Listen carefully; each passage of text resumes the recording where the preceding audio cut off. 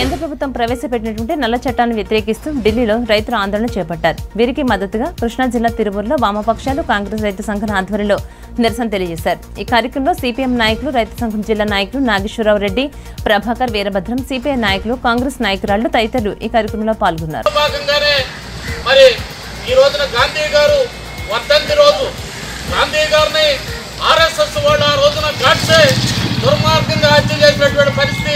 అటువంటి గాంధీ వర్ధంతి సందర్భంగా దేశవ్యాప్తంగా రైతులకు సంఘీభావంగా ఆ ఉద్యమాన్ని వెంటనే పరిష్కారం చేయాలి.